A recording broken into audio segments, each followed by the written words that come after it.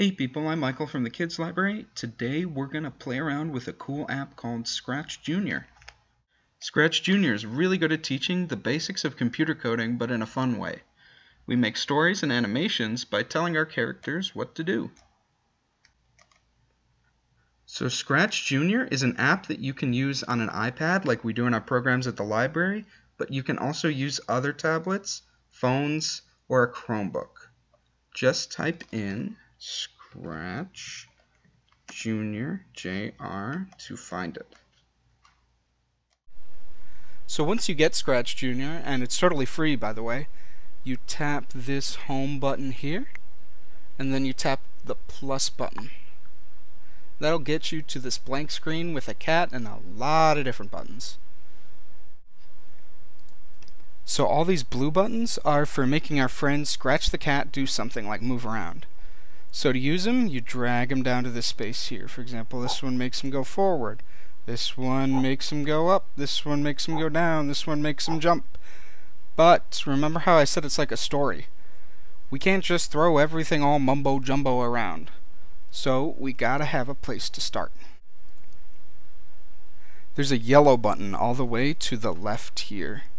If you tap it, you'll see this green flag, the first thing we're going to go ahead and drag that down. That is where we start.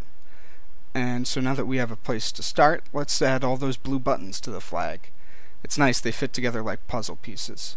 So here's that piece that tells them to go forward. Here's that piece that tells them to go up. Here's that piece that tells them to go down. Here's that piece that makes them do a couple hops. It's kind of like Simon Says. So we want Scratch to do a flip when we have that piece by itself, we're just saying do a flip, but Scratch doesn't fall for it and he doesn't do a flip.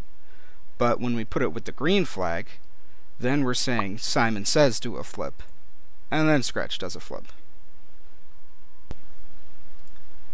Now that we've told Scratch what to do with our blue buttons when we start, let's press the start button by tapping on the green flag.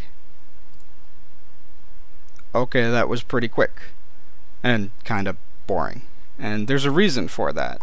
So when we said, hey Scratch, move forward, move up, move down, we didn't say how much. So Scratch was lazy and moved the tiniest bit possible. But we can change that. And just a quick tip, after we hit the green flag and Scratch moves around, if we want to get him back to where he started in the middle, we can add this last blue button to the little end of our story like this. This button moves Scratch back to where he was before he pressed start. You can also press this button up here. But let's do it one more time. And he moved back. It's really helpful. So if we want to make Scratch move more and do more, let's tap on the bottom of one of those blue buttons we have. So right now you can see forward, up, and down are only set to 1, so Scratch only moves them a tiny bit.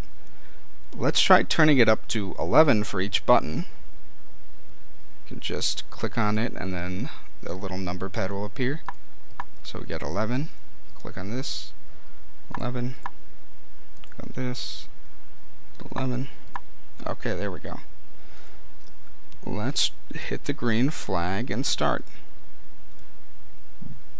Whoa, okay, he goes way farther now, all the way around the world and back to the other side of the screen and all the way up in space and back down again. So 11 was too high.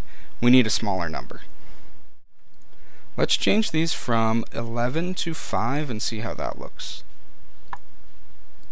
Okay, 5, 5. Let's hit start.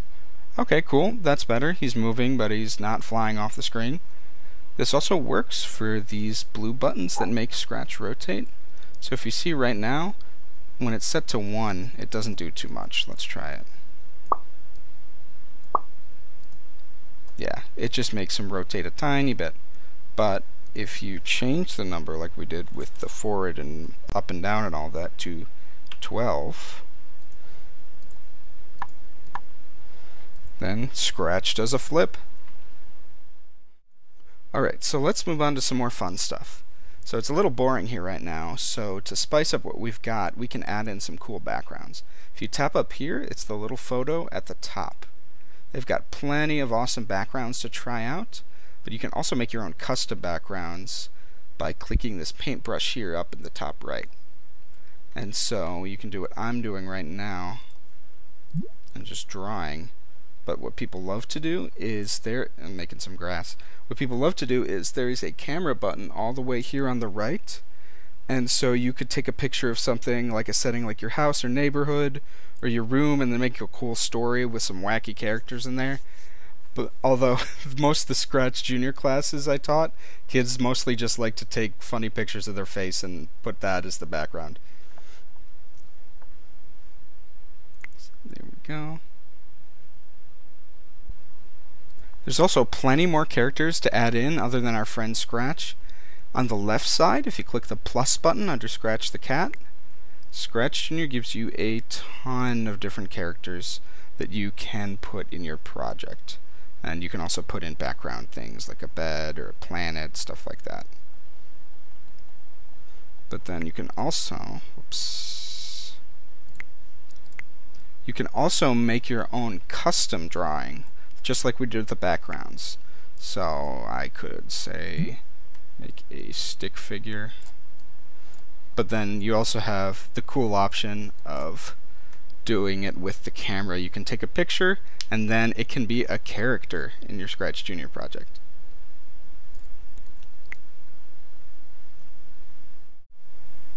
So I chose the moon for my background and for my second character, let's see, let's go with the school bus. So when you added a new character, like I just did with this bus, you can make it move and do other stuff just like we did with our first character Scratch, like this. And so let's get started with getting that green flag again so we can start. So I'm going to show you a couple more cool things that you can do with your characters.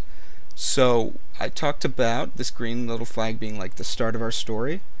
Well, you can actually have two stories going at once. So if I wanted to have the bus spin, let's do that, and let's just do 99 so it keeps spinning. But I wanted to do something else at the same time. So we can use a separate starter flag here.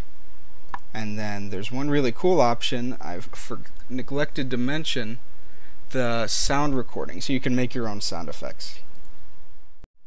Okay, so let's try and record a sound effect. So we're going to press this little microphone button. And then when we press, press the record button, the one with the red circle, it's going to record what we say. Beep beep.